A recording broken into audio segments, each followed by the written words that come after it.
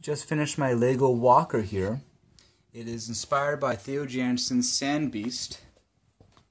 It has eight legs, four on each side, and it has uh, a, a flywheel on top. It's basically used for stabilization while turning.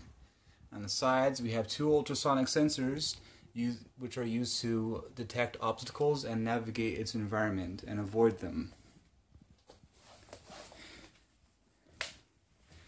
The program's right here, and I programmed it so that it would either go forward, go backwards, turn left, or turn right, depending on the obstacle and its direct environment. And I'm about to show it in action right now.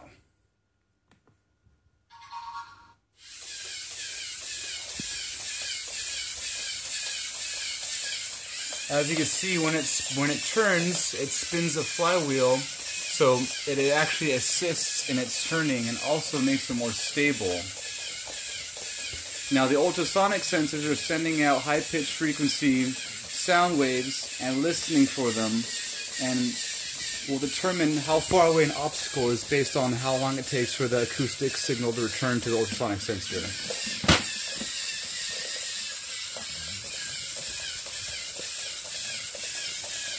What I really like about this is it kind of sounds like a horse when it gallops. Like a nice horse gallop. Oh, looks like it's getting confused right now. Hopefully it doesn't get stuck in the corner. There we go, alright, I made it out. So just a reminder, this is 100% programmed and it's totally autonomous at the moment and it's using its ultrasonic sensors to detect its environment and move around them. So it's going to sense these these boxes here and it's, it's going to move around them or avoid them.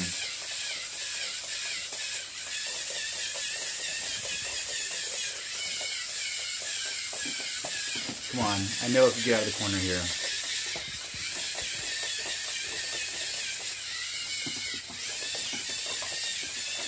There we go, I knew it could.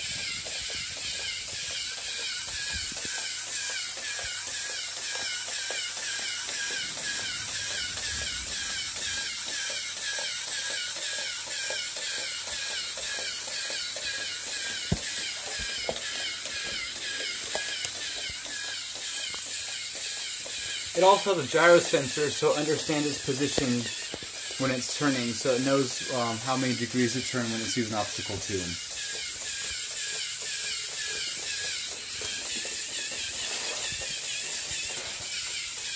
And this is of course using the latest LEGO Mindstorms hardware, the EV3, Evolution 3, the third generation LEGO robotics platform. And I'm so fortunate enough to have an, a limitless supply of them been happy to have. And we'll watch it avoid these boxes one more time.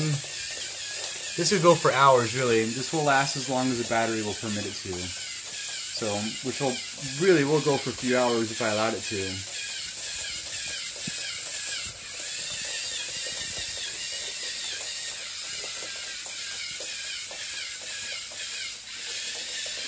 All right, so that's my that's my latest creation. Hope you like it.